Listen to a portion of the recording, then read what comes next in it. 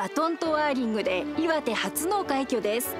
世界選手権で日本代表に選ばれた男子高校生をご紹介します。 Good Luck Story。盛岡中央高校1年の小野寺理央さんはバトントワーリングの大会で入賞し2種目で世界選手権日本代表になりました。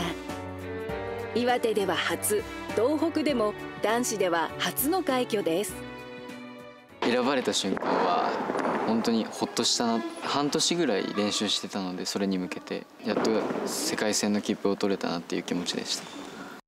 小野寺さんがバトントワーリングを始めたのは6歳の頃。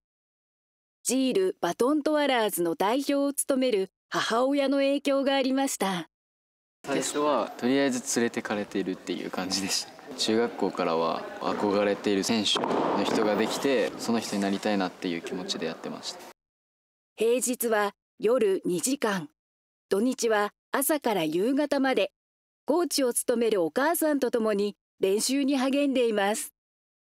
自分が思い描く情景を自分で表現できる審査員の人とかに思い浮かんでることを自分の踊りで表現して伝わるとその分の評価がもらえて嬉しいです。アクロバットが得意なんですよね。大きい技がすごい得意なので技の迫力はあるのでそこを評価してもらえたのかなとなかなか入れてる選手がいないのでそこが強みですね。毎週水曜日にはジムでパーソナルトレーニングも受けている小野寺さん。8月に開催される世界選手権に向け着々と準備を進めています。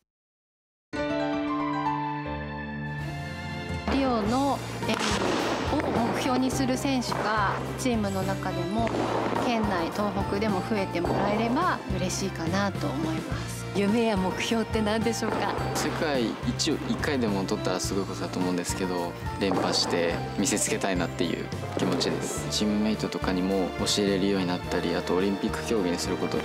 そして目指すものは？1位です。バトントワーリングで世界一。小野寺さんは高みを目指します。バトンをもっと広めるぞ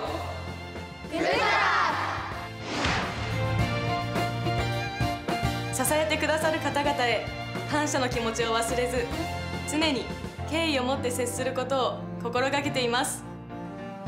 この番組は高レクの提供でお送りしました。次回はこの方の Good Luck Story をお送りします。